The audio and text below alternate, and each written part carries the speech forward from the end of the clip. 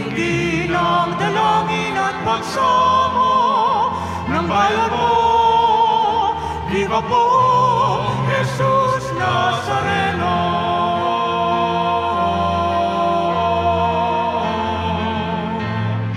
Tayo ngayon ay magtipon at sambahin ang poon. Magdiwang tayo sa ating debosyon, purihin ang Panginoon. Viva po, Jesus Nazareno, awit at papuri, alay namin sa'yo, hindi ng dalangin at pagsamo ng bayan mo. Viva po, Jesus Nazareno.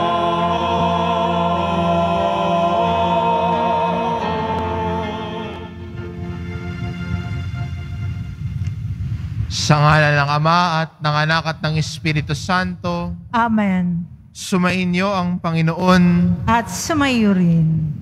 Mga kapatid, aminin natin ang ating mga kasalanan upang marapat tayong gumanap sa banal na pagdiriwang.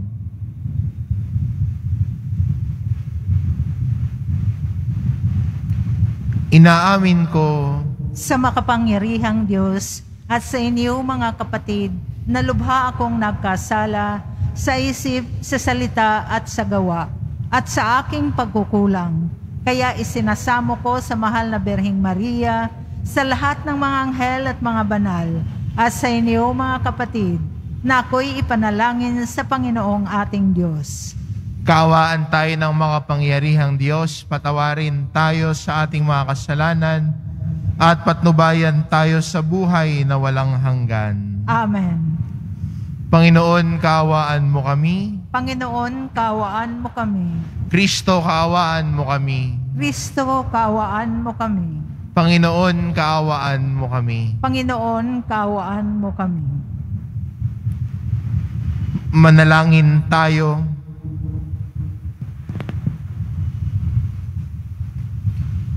Ama naming makapangyarihan, niloob mong akuin ng iyong anak ang krus at kamatayan upang ang sangkatauhay matubos at mabuhay. Ang pag-ako namin sa krus at kamatayan dito sa lupa ayon sa diwa ng pagsunod sa iyong loob na ginanap ng iyong anak ay mapaging tapat nawang aming kamtin ang lubos na katubusan ng pagkabuhay sa iyong piling sa pamamagitan ni Yeso Kristo kasama ng Espiritu Santo magpa sa walang hanggan. Amen. Magsupo muna ang lahat.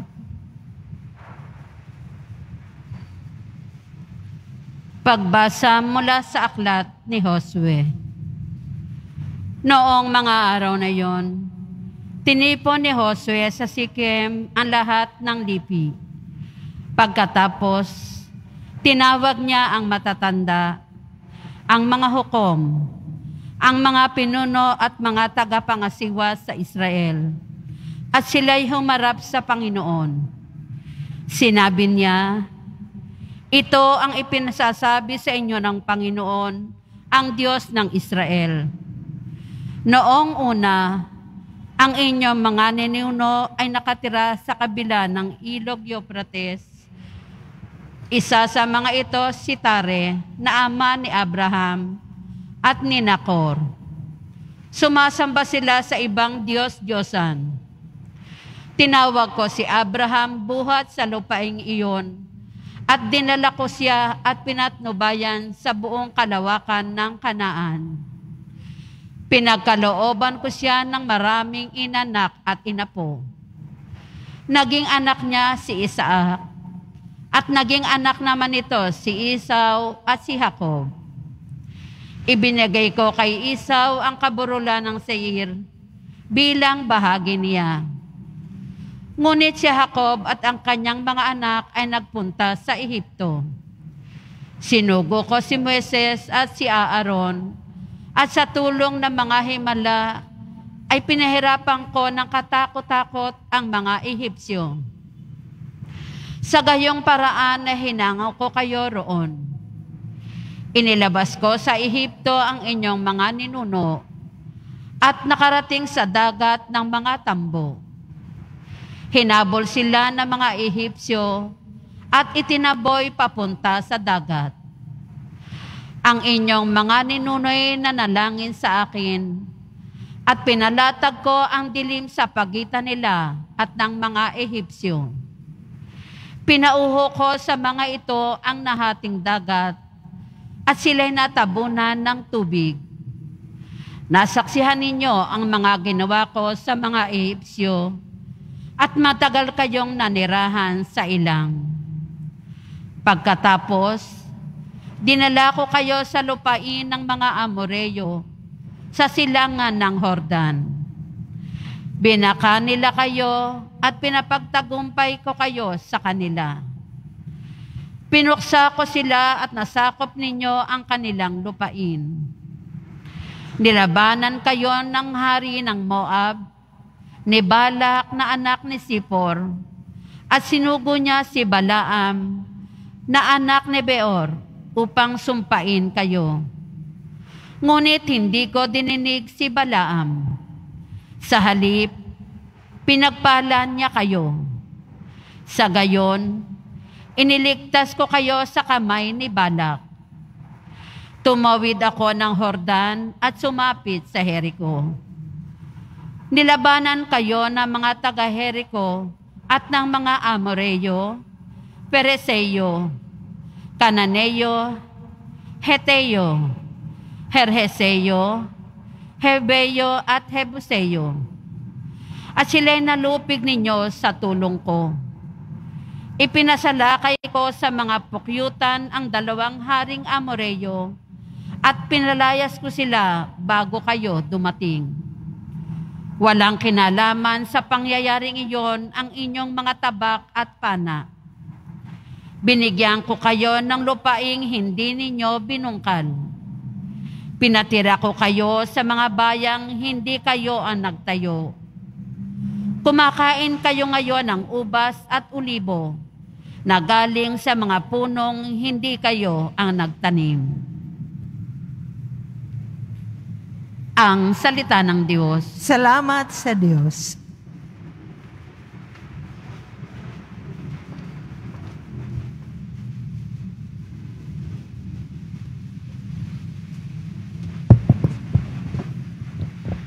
Ang pag-ibig ng may kapal ay tunay na walang hanggan. Ang pag-ibig ng may kapal ay tunay na walang hanggan. O pasalamatan ang Panginoong Diyos, pagkat siya'y mabuti. Ang kanyang pag-ibig ay pang walang hanggan at mananatili. Pinakadakilang Diyos ng mga Diyos ay pasalamatan. Ang pag-ibig niya ay mananatili at pang walang hanggan. Makapangyarihang higit kanino man itong Panginoon, ang kanyang pag-ibig ay mamamalaging panghabang panahon. Ang pag-ibig ng may kapal ay tunay na walang hanggan. Nang mailabas niya'y siya ang kasama habang nasa ilang. Ang kanyang pag-ibig ay mananatili at pang walang hanggan. Pinagpapatay niya yaong mga haring may kapangyarihan.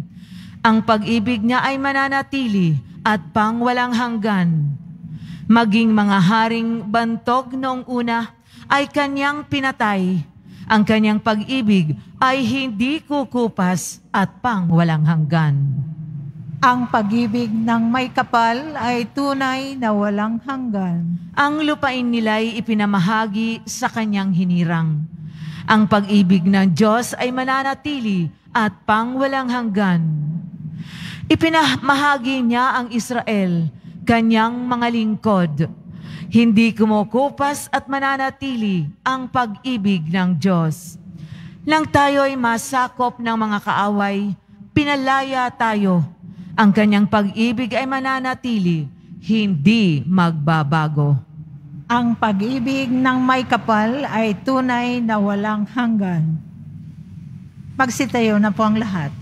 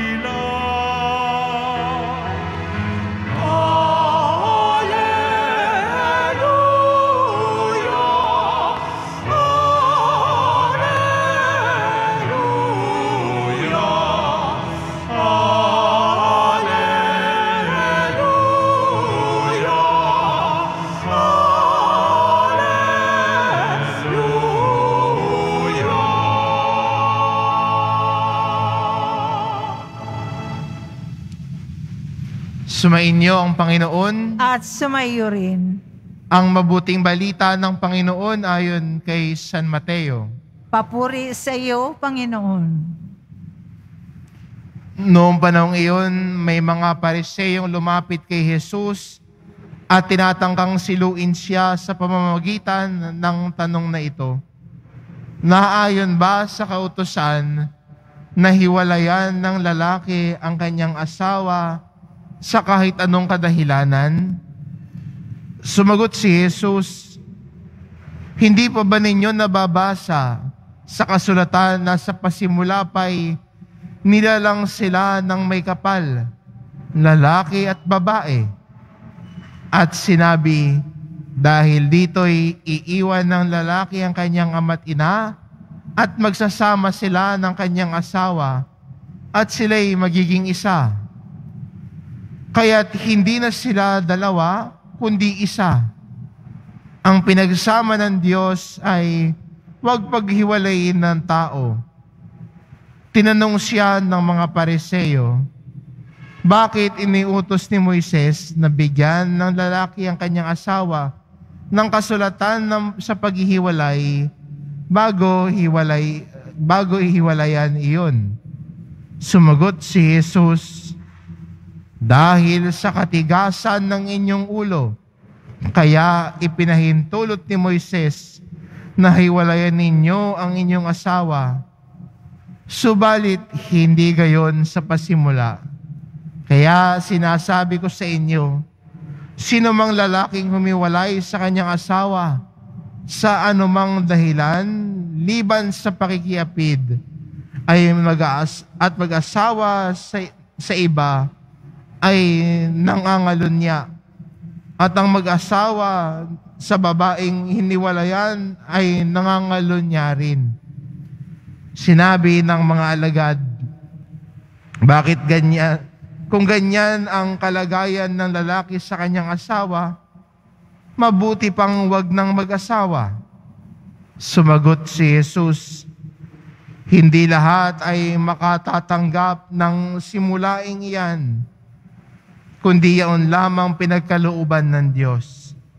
Sapagat may iba't ibang dahilan kung bakit may mga lalaking hindi makakapag-asawa.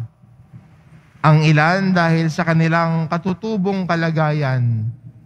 Ang iba dahil sa kagagawan ng ibang tao. At nagkagayon sila. Meron namang hindi nag-aasawa alang-alang sa ikauunlad ng paghahari ng Diyos. Ang makakatanggap ng simulaing ito ay tumatanggap nito. Ang mabuting balita ng Panginoon. Pinupuri ka namin, Panginoong Heso Kristo. Magsiupo po ang lahat.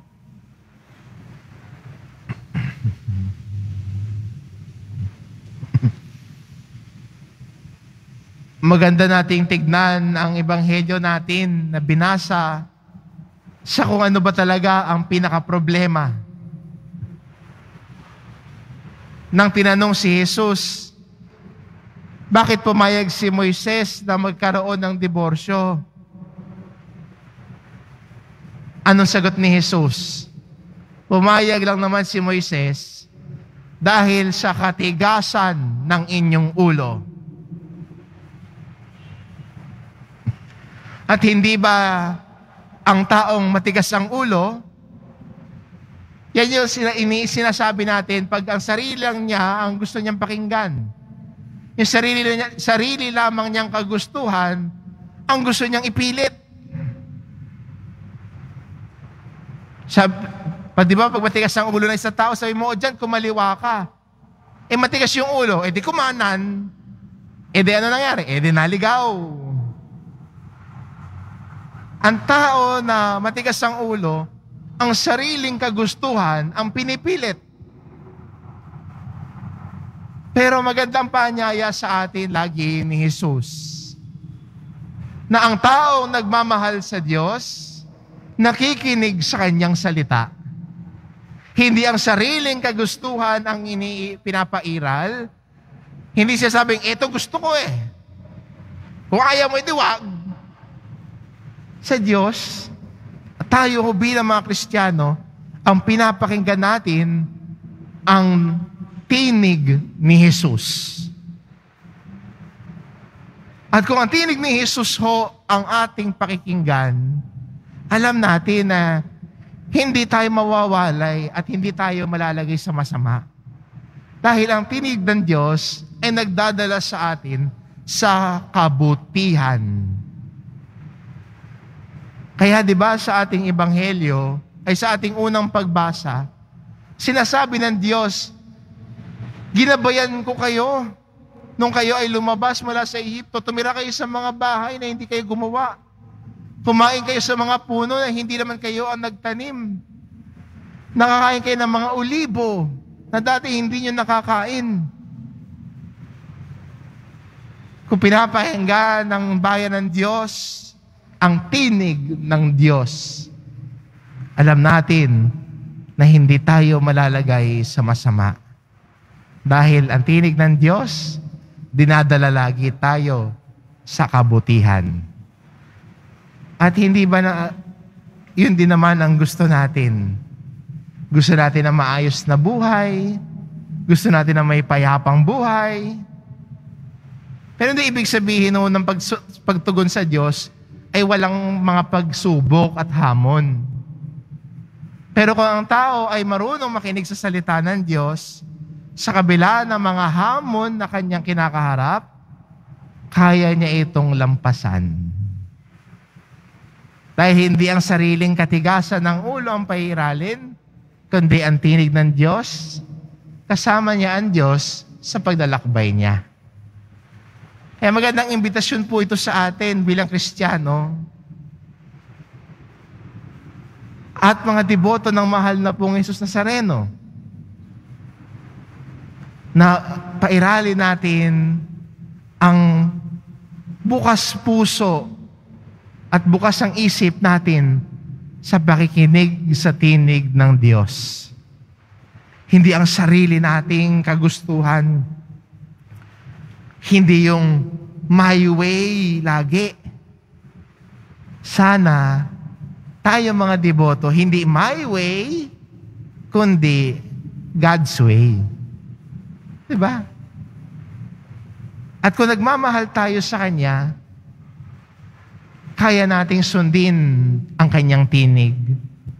Kung may tiwala tayo sa Diyos, hindi tayo mag-resist sa Kanyang tinig Minsan ho, resistance equates to lack of trust. Resistance equates to lack of trust. Kung tayo ho minsan, nag-resist tayo sa tinig ng Diyos, tignan din natin, am I really trusting the Lord in my life? Bakit nag-resist ako sa tinig niya? Bakit ako nagre-resist sa kanyang salita? Kung buo ang tiwala natin sa Diyos, handa nating tanggapin ang kanyang tinig at ito ay sundan. Hindi ang sariling kagustuhan, kundi may bukas ang isip at bukas ang puso sa pagtahak sa salita ng Diyos. At ito pong imbitasyon sa atin ngayong lahat. Napakinggan ang boses ng Diyos. Sa ating ibanghelyo, yung pakikipagtalo nila sa divorce, produkto lamang ng katigasan ng ulo ng mga tao. Ang mas, ang mas gustong ipairalin yung sarili. Yung sariling kagustuhan, sariling kaginhawaan, wala nang pakialam. Pero magandang imbitasyon sa atin, ang ating ebanghelyo ngayon, bumalik sa pinakabuod ng problema, ang katigasan ng ulo dahil sarili ang iniisip. Kaya imbitasyon sa atin ito lahat. Minsan ho, ang mga aral at turo ni Jesus, minsan hindi naman talaga mahirap, tang, madaling tanggapin. Minsan, susubukin tayo. Minsan ay, alam natin, sasabihin natin, Lord, parang mahirap. Pero kung bukas ang puso natin sa pagtanggap ng salita ng Diyos, sinasabi ni Lord sa atin lagi, mahirap ba? Tutulungan kita. Hindi madali, kasama mo ako. Ito lagi ang paanyaya ng Diyos sa atin. Tuwing tayo ay nakikinig sa Kanyang salita. Minsan, ang salita ng Diyos, susubukin tayo. Icha-challenge tayo. At maganda yon. Because when challenges come, we also grow. Diba? Pag may dumarating na mga pagsubok, kahit na minsan ay sinusubok tayo ng salita ng Diyos, doon tayo lumalago. At yan ang gusto natin bilang Kristiyano. Lumago ang ating pagkatao, lumago ang ating isip, nang tayo ay buong pusong makasunod sa mahal na poong Jesus Nazareno. Kaya ang tanong sa atin ngayon, do you trust God? May tiwala ka ba sa poong Jesus Nazareno? Kung buo ang tiwala mo sa Kanya, do not resist His Word. Buong pusong tanggapin, buong pusong yakapin ang salita ng Diyos ang nag-aakay sa atin sa kaganapan ng ating buhay. Amen.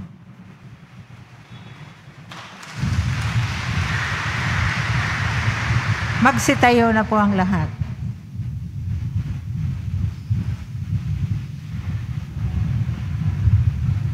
Minamahal ko mga kapatid, nakikilahok sa paglikha ng Diyos ng bagong buhay ang mga asawa at may bahay.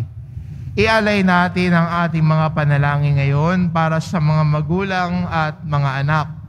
Ang ating itugon, Panginoon, punuin mo ng iyong pag-ibig ang aming mga tahanan. Panginoon, punuin mo ng iyong pag-ibig ang aming mga tahanan. Ang simbahan naway tunay na maituro sa kanyang mga miyembro ang totoong dangal ng kasal at tulungan ang mga mag-asawa na manatiling magkasama sa banal nilang buhay may asawa. Manalangin tayo.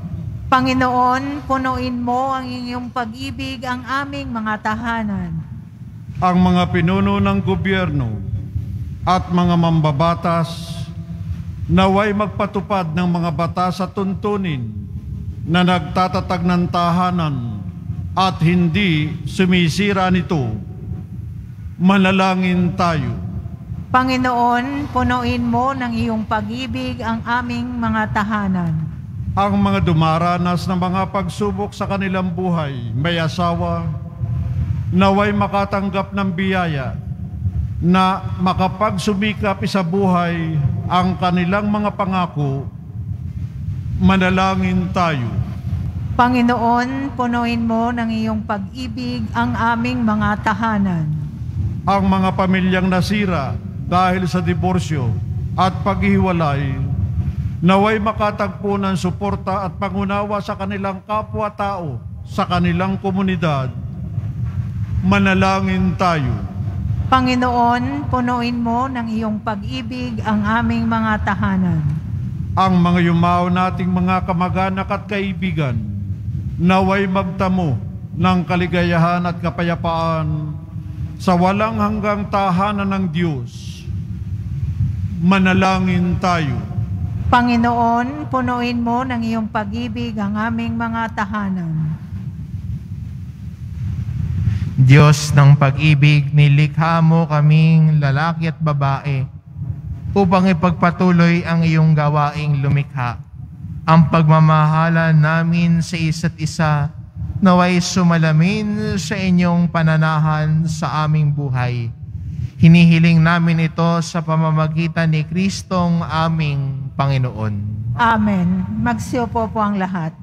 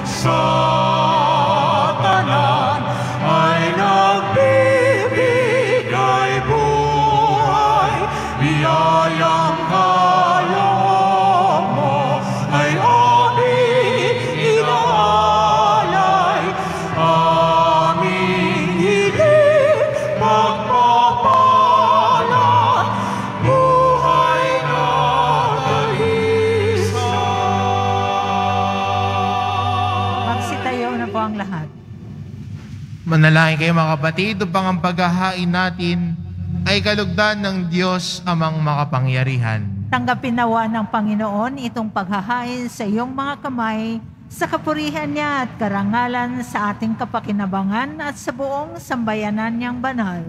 Ama naming lumika sa ikapagpapatawad ng mga kasalanan, maganap nawa ang paghahain ito na sa dambana ng krus ay siyang pumawi sa kasalanan ng buong mundo. Sa pamamagitan ni Heso Kristo kasama ng Espiritu Santo, magpas sa walang hanggan. Amen. Sumainyo ang Panginoon. At sumayo rin. Itaas sa Diyos ang inyong puso at diwa. Itinaas na namin sa Panginoon. Pasalamatan natin ang Panginoong ating Diyos. Marapat na siya ay pasalamatan. Ama naming makapangyarihan, tunay ngang marapat na ikaw ay aming pasalamatan. Iyong ipinasyang sa kahoy na krus, ang sangkatauhay tubusin ni Jesus. Sa punong kahoy, nagkapuwang ang kamatayan. Sa kahoy na krus, itinanghal ang pagkabuhay. Sa punong kahoy na naig ang sumuway sa iyo. Sa kahoy na krus, sa inadaig ng masunuring anak mo. Kaya kaisa ng mga anghel na nagsisiawit ng papuri sa iyo, nang walang humpay sa kalangitan, kami nagbubunyi sa iyong kadakilaan.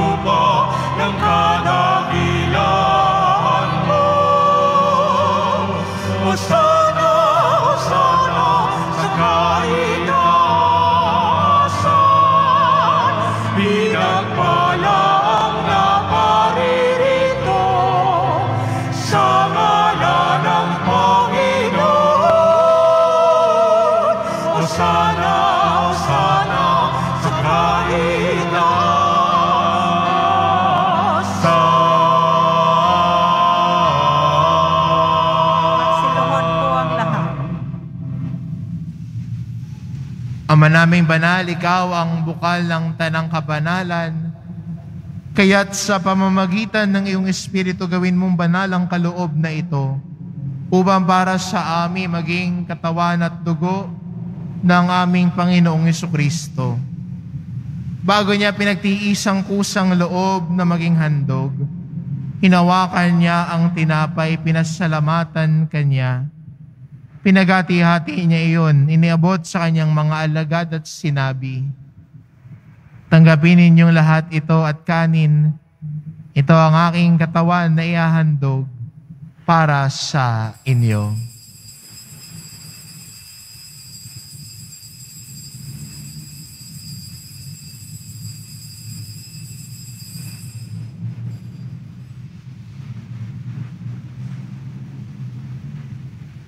Gayun din naman na matapos ang hapunan, hinawakan niya ang kalis. Muli kanyang pinasalamatan. Iniabot niya ang kalis sa kanyang mga alagad at sinabi, Tanggapin ninyong lahat ito at inumin. Ito ang kalis ng aking dugo ng bago at walang hanggang tipan. Ang aking dugo na ibubuhos para sa inyo at para sa lahat, sa ikapagpapatawad ng mga kasalanan. Gawin ninyo ito sa pag-alala sa akin.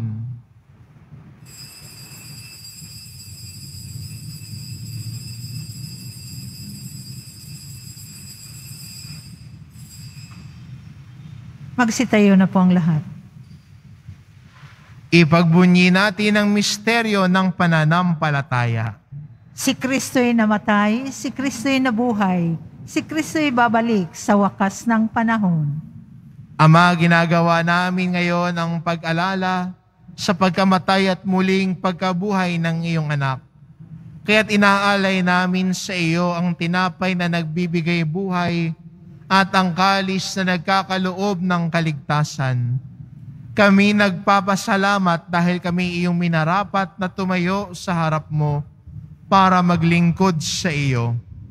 Isinasamo namin kami magsasalo-salo sa katawan at dugo ni Kristo ay mabuklod sa pagkakaisa sa pamamagitan ng Espiritu Santo. Ama, lingapin mo ang iyong simbahang laganap sa buong daigdig.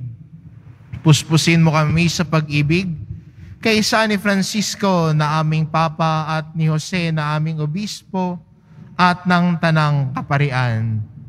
Alalahanin mo rin ang mga kapatid naming nahimlay na may pag-asang sila'y muling mabubuhay gayon din ang lahat ng mga pumanaw. Kaawaan mo sila at patuloyin sa iyong kaliwanagan. Kaawaan mo at pagintapatin kaming lahat na makasalo sa iyong buhay na walang wakas. Kaisa ng mahal na Birheng Maria na ina ng Diyos, ng kabiyak ng puso niyang si San Jose, kaisa ng mga apostol at ng lahat ng mga banal na namuhay dito sa daigdig ng kalugod-lugod sa iyo. May pagdiwang nawa namin ang pagpupuri sa ikararangal mo sa pamamagitan ng iyong anak na aming Panginoong Heso Kristo. Sa pamamagitan ni Kristo kasama niya at sa Kanya, ang lahat ng parangal at papuri ay sa iyo, Diyos amang makapangyarihan, kasama ng Espiritu Santo, walang hanggan.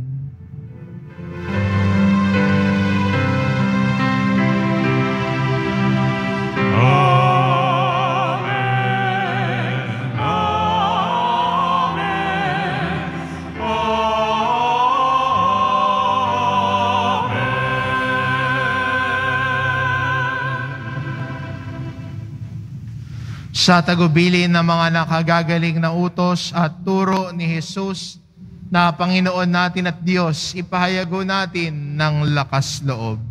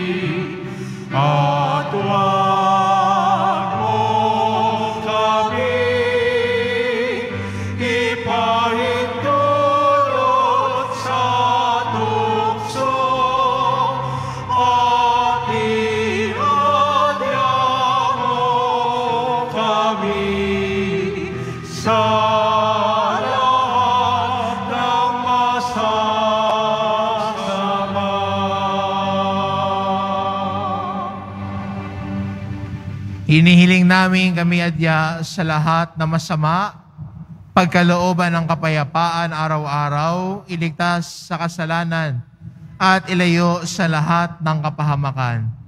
Samantalang aming pinananabikan ang dakilang araw ng pagpapahayag ng tagapagligtas naming si Yeso Kristo. Sapagkat iyo ang kaharian at ang kapangyarihan at ang kapurihan magpakailanman. Amen. Panginoong Kristo, sinabi mo sa iyong mga apostol, kapayapaan ang iniiwan ko sa inyo, ang aking kapayapaan ang ibinibigay ko sa inyo. Tungayan mo ang aming pananampalataya at huwag ang aming pagkakasala. Pagkalooban mo kami ng kapayapaan at pagkakaisa ayon sa iyong kalooban, kasama ng Espiritu Santo, magpasawalang hanggan. Amen. Ang kapayapaan ng Panginoon ay laging sumainyo. At sumaiyo rin. Magbigayan kayo ng kapayapaan sa isa't isa.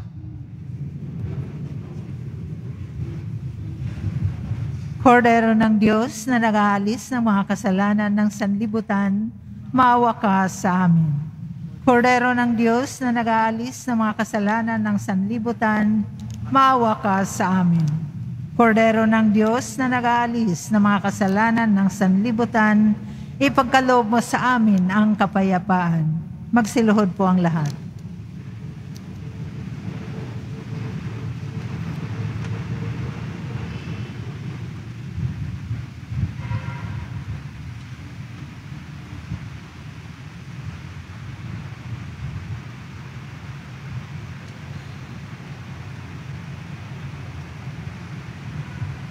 Ito ang kordero ng Diyos, ito nag-aalis ng kasalanan ng sanlibutan. Mapalad ang mga inaanyayahan sa kanyang piging.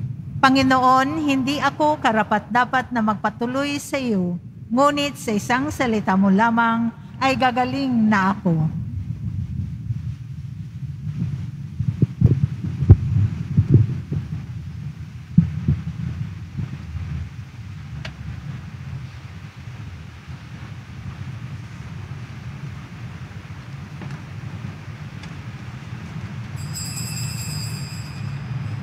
Para sa lahat ng tatanggap ng banal na komunyon, sasagot po tayo ng Amen pagkasabi ng pari o ng lay minister ng katawan ni Kristo at isubo agad sa bibig bago malis sa harapan ng pari o ng lay minister. Sumunod po tayo. Maraming salamat po.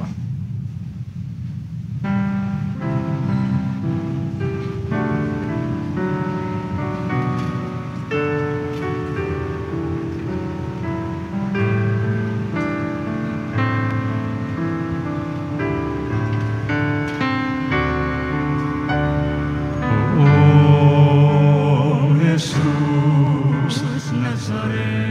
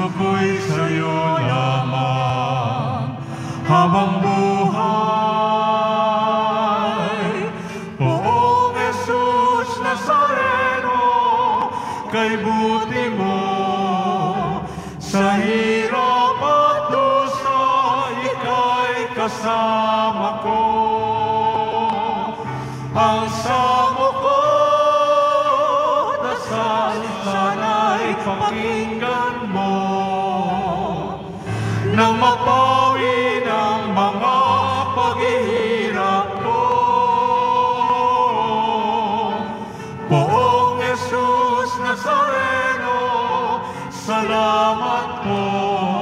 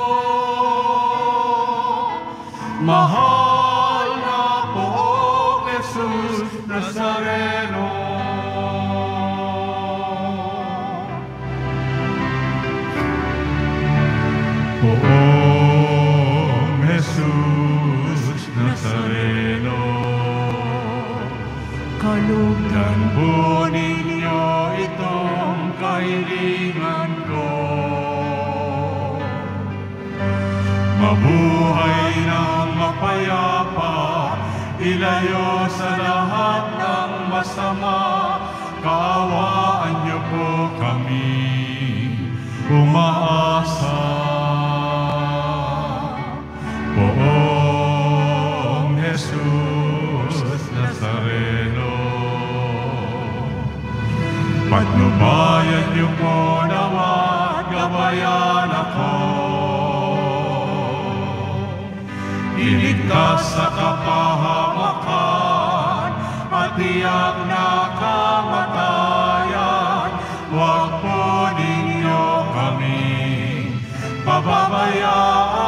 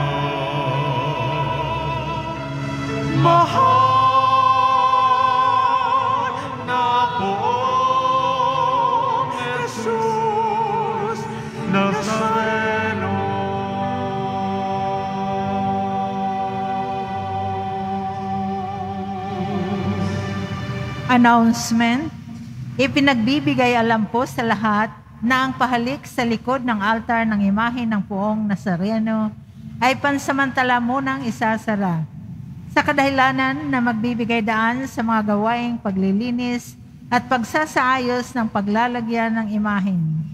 Kaugnay nito, patuloy pa rin namin po na pa- naman po ang pahalik sa imahe ng Nazareno sa Benedict Building sa Evangelista Street sa may pasukan po. Pagkatapos ng misa, wiwisikan po ang lahat ng banal na tubig. Pinakikiusapan ng lahat na manatili lamang muna sa inyong mga lugar at tanging sa Quezon Boulevard at Plaza San Juan lamang ang labasan ng lahat. Sumunod po tayo. Maraming salamat po sa inyong pagdalaw at pagsisimba sa Basilica Minor at pambansang dambana ni Jesus Nazareno. Magsitayo na po ang lahat. Manalangin tayo. Panginoong Kristo, kami nagsalo-salo sa banal na pakikinabang ay nakikiusap sa iyo na ang mga nasagip ng kahoy na krus na nagbibigay buhay ay iyong ihatid sa pagkabuhay sa kalwalhatian sapagkat ikaw ang Panginoon magpasawalang hanggan. Amen. Sumainyo ang Panginoon. At sumayo rin. Mahal na pong Isus Nazareno, inihayag mo sa pamamagitan ng krus ang walang maliw na pag-ibig ng Diyos sa sangkatauhan. Pakinggan mo ang kahilingan ng iyong angka na nagsusumamo sa iyo. Makamtan nawa nila ang iyong katugunan at tanggapin ang kasagutan na may utang na loob na tinatanaw. Basbasan din po ninyo ang mga may daladala nilang imahin at dasalan Sa pamamagitan ng bendisyon na ito, naway maalala nila ang mga pangako nila noon sa binyag, na ikaw ang kanilang iibigin at paglilingkuran bilang Panginoon magpasawalang hanggan. Amen. At pagpalain kayo ng ating mapagmahal na Diyos, ang Ama, at ang Anak, at ang Espiritu Santo. Amen. Umayo kayo, taglay ang kapayapaan ng poong Isus Nazareno. Salamat sa Diyos.